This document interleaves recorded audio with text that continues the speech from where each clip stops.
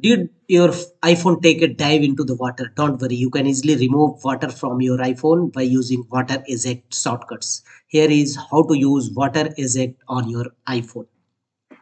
First of all go to app store of your uh, iphone and here search for shortcuts app.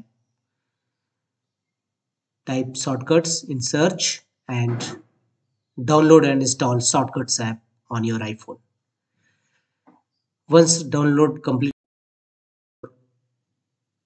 Safari app, launch Safari browser and here in search field type shortcutsgallery.com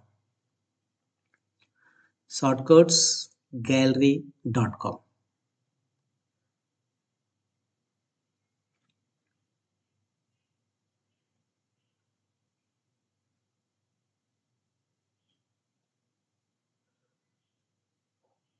tap on search and tap on first result appear water eject tap on it and privacy preference accept all and water eject shortcuts tap on get.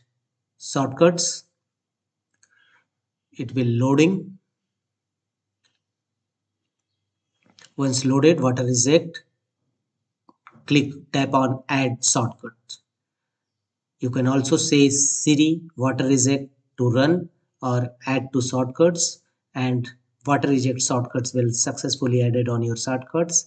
Tap on it to start and choose start and choose a intensity level how much water you have your phone have consumed and after that it will eject water from your iphone.